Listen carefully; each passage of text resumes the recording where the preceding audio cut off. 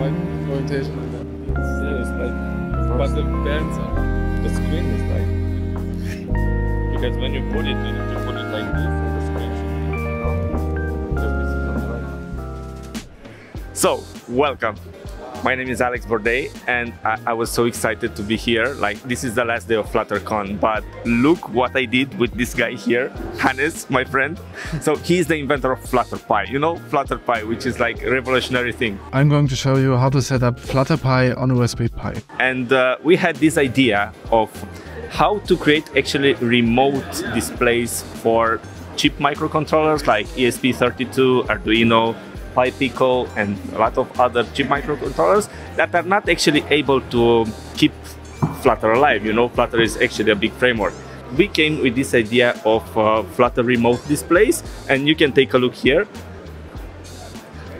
So uh, what you see here is a case study in which here we have an ESP32 microcontroller and here we have an Android app. And what Hannes did here is connecting the smartwatch with the phone and this screen here, this widget screen is actually streamed real time on the smartwatch. Also the events, like if we click something here, you can see on the smartwatch real time and also if we click something on the smartwatch, you can see the interaction real time on the Android device.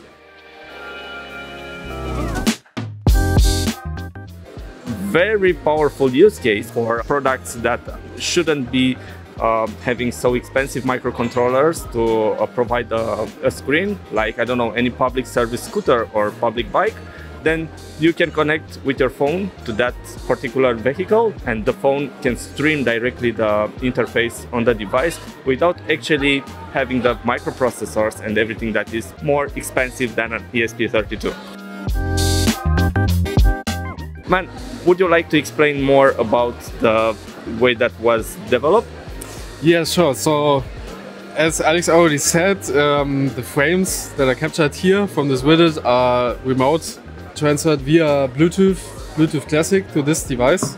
They are compressed a bit. We just do damage detection, so if like only part of the screen changes, we only transfer the actual part that changed. Yeah, some other compression, run-length encoding we use. And yeah, then we do some hacking to make the touch events work. That's hacky to get to get it working, but now it works actually pretty well. This new package will be uh, launched today at FlutterCon in a few hours, and then you can follow pub.dev marketplace for Flutter Remote Display, and you can play with it on your own.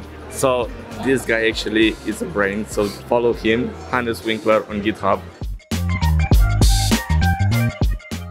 also, you can see the Flutter widget error, the overflow error. Yeah. Yeah, it's like too small. Pixel perfect, man. Thank you. Thanks.